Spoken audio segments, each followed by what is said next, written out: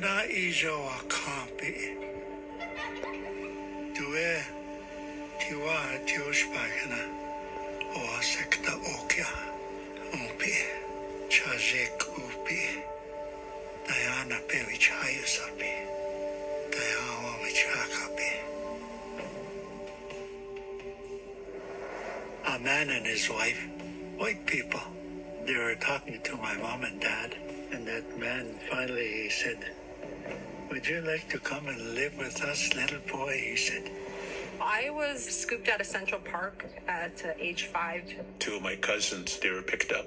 He took the door handles off from the inside, so once he closed the door, the kids can open it. This is a special adoption program. We have had great difficulty in placing Indian and Métis children.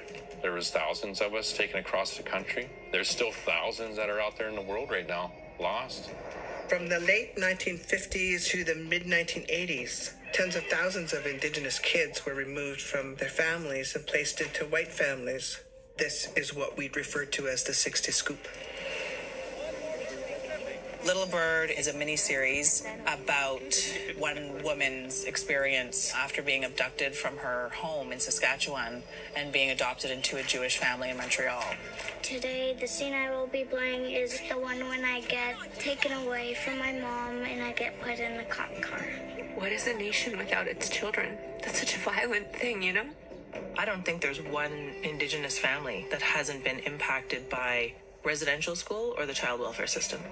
I want people to know that it's still alive. It's still happening. In the current system, which I call the foster care scoop, children are in foster care and non Indigenous people are getting a lot of money to take care of our children. I feel very honored to tell this story. It's an offering to come together and heal. It is about coming home. It's about welcoming those who were taken.